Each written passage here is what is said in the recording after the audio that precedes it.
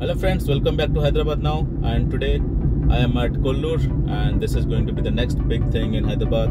A lot of projects happening right now in Kollur area and a lot of uh, kind of development is happening around this place.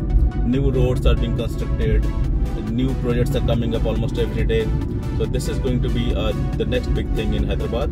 And um, I think if you have missed some of the big property developments in Hyderabad so you are not too late. Uh, again it's kind of a lot of opportunities coming in Kollur area.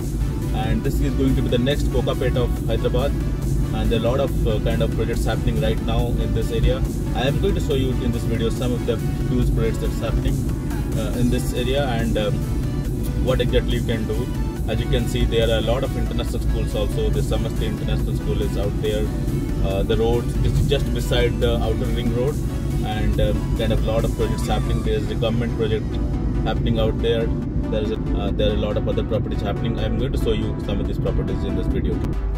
So this entire property you see on my right is from Anvita Group. So they are building uh, duplexes, uh, apartment. These are the constructions which are happening from Anvita Group.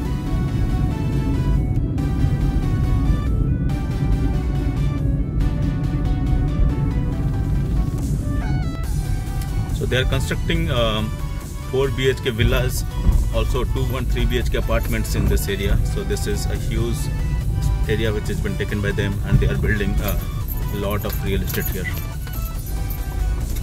So as you can see the, their tagline is creating skylines Dubai to Hyderabad. This entire area on my right is what is being constructed by them. The road is not that great now but it is definitely going to be improved once these uh, developments are over.